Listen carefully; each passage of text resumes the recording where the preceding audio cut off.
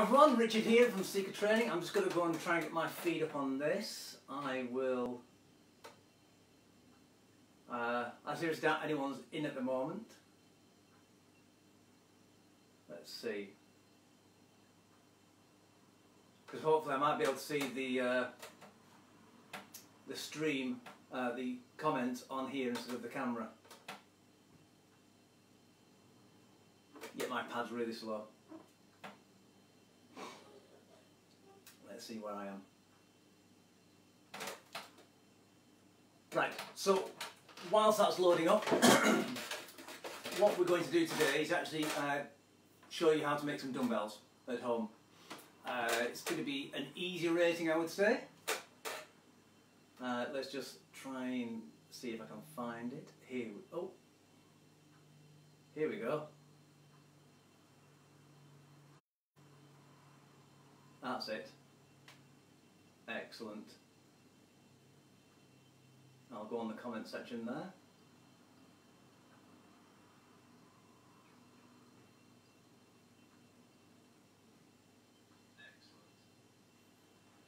Come on.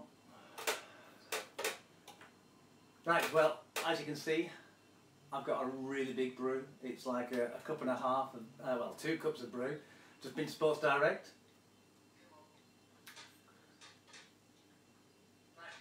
I've got two people watching. Hello to you both. I, sorry, I can't see you at the moment.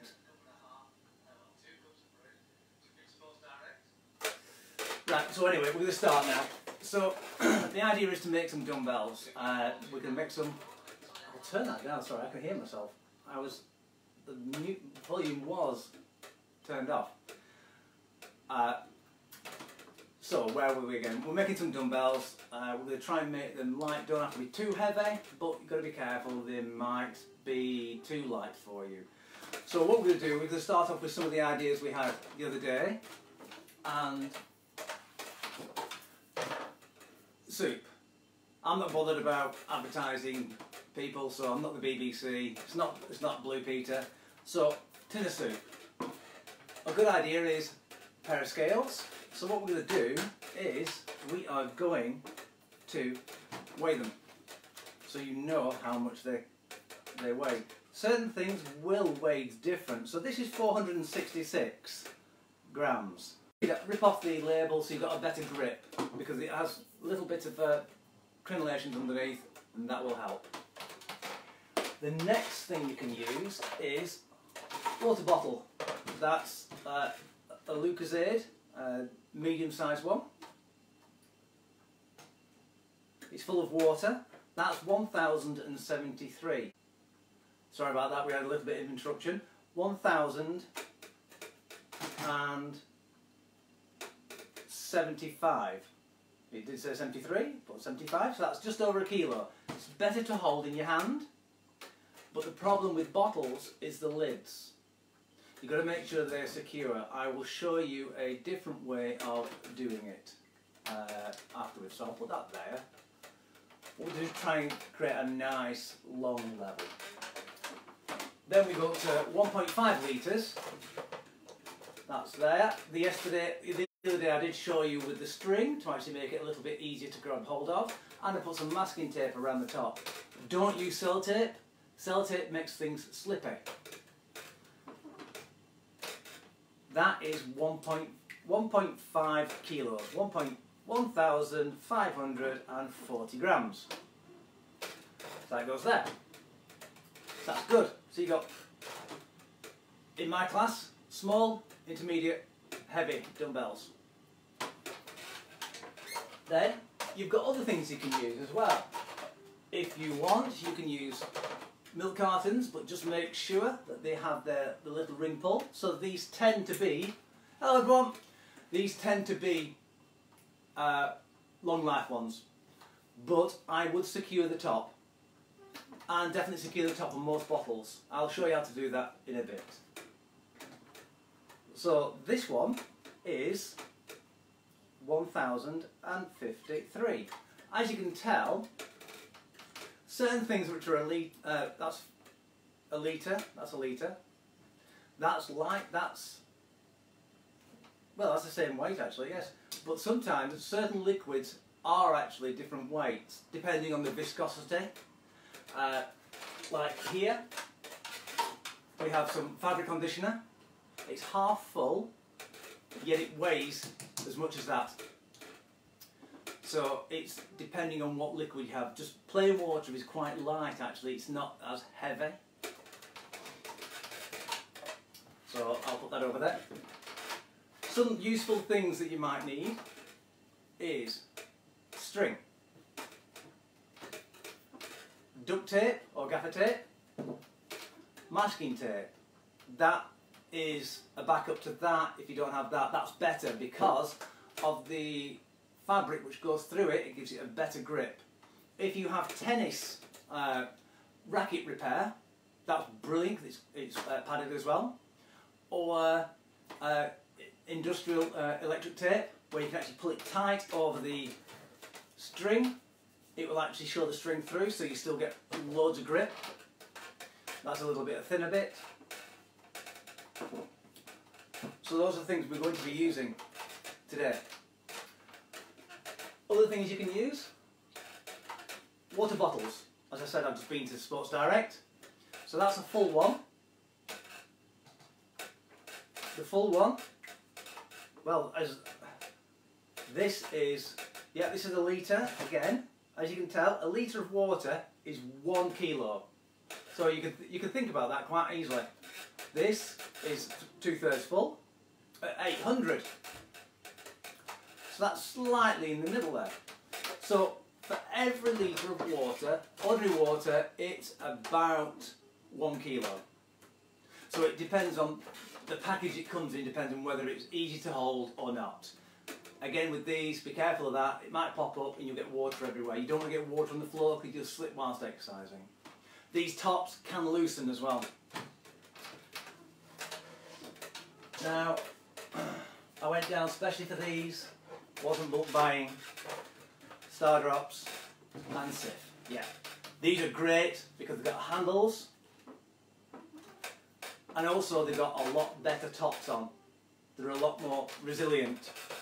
The problem with bottles is if you drop them they will they could actually break. Do not use glass at all in any exercise. So I'm going to weigh one of these. That again is a hundred is uh, 100 millilitres is a litre and it's a, it's a one kilo. And you've got handholds. So it's great. You can do the double punches all day with those. If you only want half a weight, it up half full. So I'm going to put these at the front because I must admit, these are the best ones so far. Yeah. So I will put on the front of this one, because you can see it better, one kilogram. Just so we can see how we're going to secure it. You should secure all bottles this way.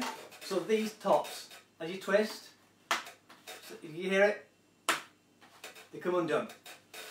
So undo it, cling film, wrap it over, fold it over the top. Right, I'm going to say tighten it up, sorry, just lost connection there again, until it doesn't click. It'll give it a little bit more uh, oomph in the bottom. I fold it over the top, then get your duct tape, if I can find the edge. and Eleanor, go past.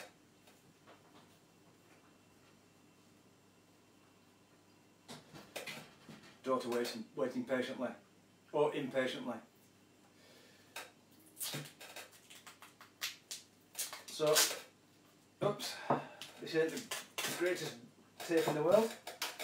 As you can see, hopefully there's some striations and fabric in it. What I tend to do on every bottle, put it over the top, over the bottle,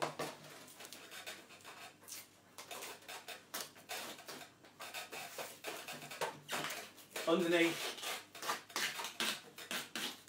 over the top, and then it's easy enough just to rip. Do not cut it with scissors because scissors can actually stick to it. It's easier to rip it.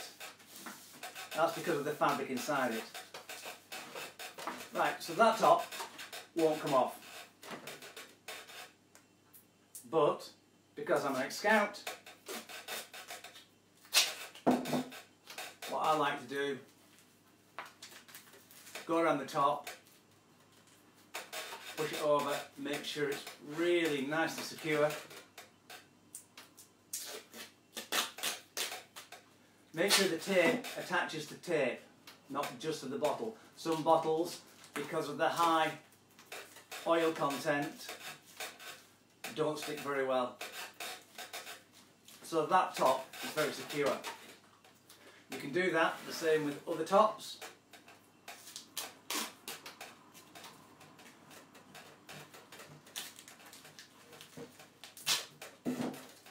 Sure it's stuck everywhere. That top is not going anywhere. Really good. Also what I would do is I would not ever fill it completely full of water, make sure there's a little air gap and if you can, when you're putting the top on, squeeze it just slightly just to let a bit of the air out. What it does is it makes it more of a balloon, balloon like, so if you do drop it, it's got more chance of bouncing rather than breaking. A little bit of an air gap, good tip. Right, so that is uh, liquid based ones. Now, what I have here is I found some play sand in the cellar. So, same one here with play sand. So, if you want, just use the play sand. But I'm going to show you how to make the dumbbell out of the large one. You can do it any other size. So good, I can actually see everything of me when I actually stand up. I'm not cutting my head off. So you can see it's going in. Get your children to help you. Make different colour ones, put dye in. Use rice. Leave a gap so when you actually use them it shakes, makes a maraca. And then when you get hungry you can use the rice as long as it's clean inside. Right, so that is that, that is done there. And that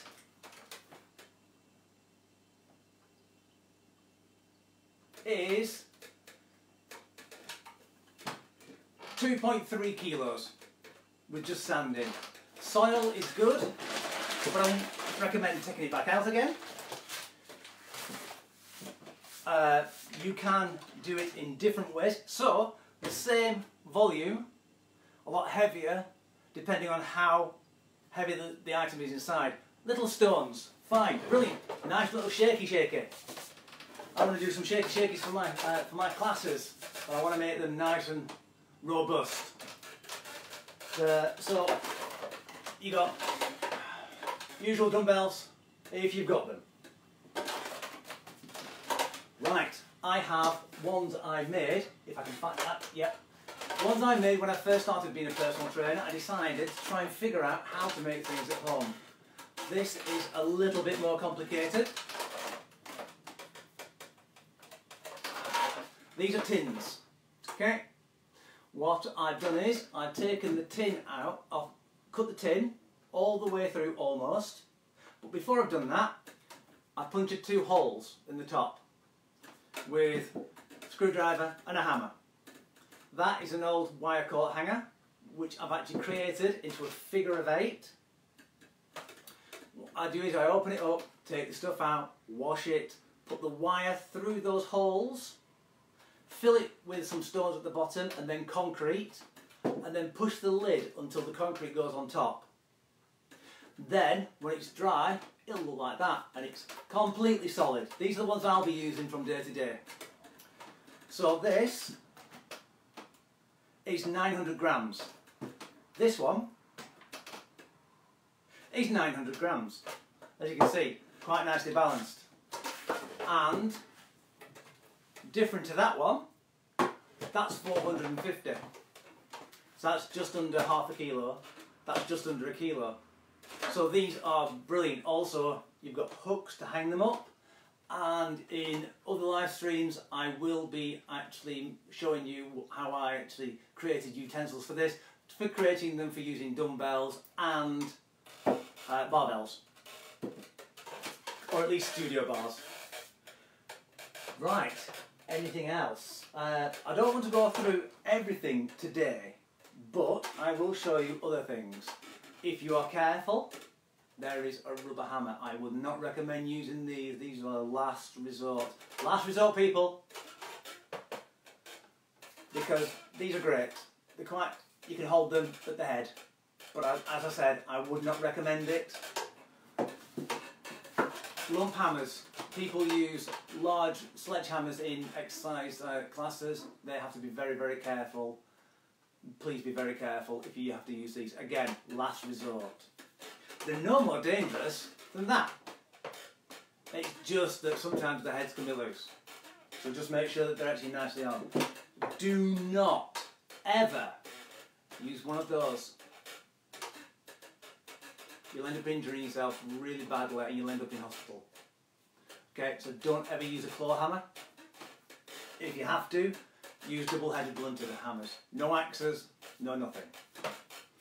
Don't bring large boulders in either for making big things. You don't you don't need that at all. Uh, you can just drop them on you. Right, so I am going to. Oh, my pad's gone off. I'm going to go and see if there's any questions to ask. And take a drink out of this absolute ginormous mug. Could do some more coffee. No, I can't see anything from that. it's not responding very easily.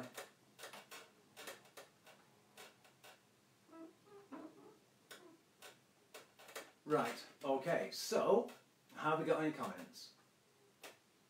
Got two comments so far. Every time I press comments, it just goes to the video. Oh, here we go. Whoop whoop, thank you, Karen. Karen. And, oh, gosh, okay,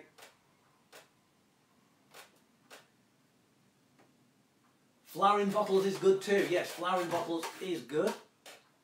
Uh, if you want to make it a little bit more sturdy, you can also add a little bit of water with it. Uh, make it more into uh, a paste, if that's how you do it. But it's a good way of storing it as well in case you're not using it up there. Uh, has anyone got any questions at the moment? I'm looking at the chat. There's no, no nothing coming through at the moment. So, uh, I'll just recap. You can use uh, tins. Tins of na naked beans or whatever are 460 grams. My concrete ones, 900 grams.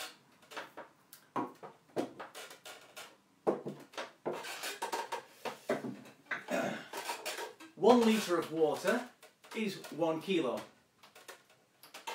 1.5 litre of water is 1.5 kilos. 1.5 litres of sand is just under two and a half. My favourite so far are these. These are 100 uh, millilitres, sorry, 1,000 millilitres. So that's a kilo. So if you fill these full of sand, you have, you will have, if that's double it, so it's approximately, you will have two kilos, one in each hand.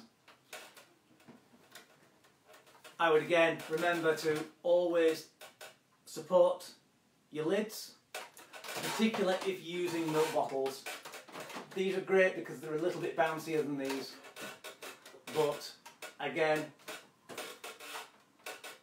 try and remember to always squeeze out a little bit of the air to give it a little bit of buoyancy. So when it bounces, it bounces and doesn't break. Water bottles are great, but again, I would actually put something around the lid just to stop it from popping off because if you're going up and down, they can, they can wear and can bend, especially if the heat of your hand is going onto it, it could warp the plastic. Uh, utensil to use. Uh, string. Gaffer tape. Bottle. Cans. My homemade ones. Cement. Can. Wired coat hanger. Or some kind of wire. As long as it doesn't cut off, like can't wrap round your circulation or anything like that. Things for gripping. The string around the around the barrel. I would go for like for here. I would secure it first at the top, wrap it all the way around, put two further down and one at the bottom because it will still move around the middle. The uh,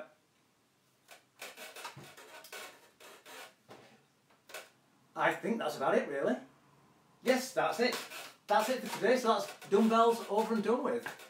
I'd like to thank everyone for coming. Uh, I will be uploading this to my business website and my Facebook and I'm going to again see if I can try and once I've got the equipment uh, stream on YouTube and then I will put them on this channel here. Okay, I'm going to quickly go up to the camera and find out if there's any questions.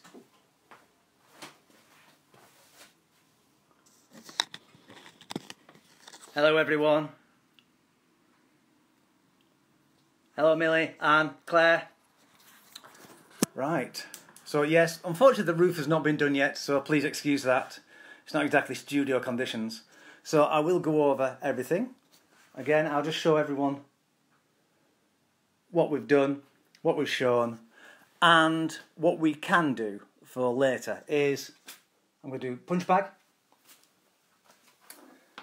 medicine balls, and we can do some uh, studio bars and uh, little dumbbells maybe for children okay? Using plasticine. So keep glued for that one. So thank you very much all for coming. Uh, I'm Richard from Seeker Training. That's horrible roof. But let's all have a healthy happy time in this time when we're going to be locked down. Thank you very much all for watching. Take care now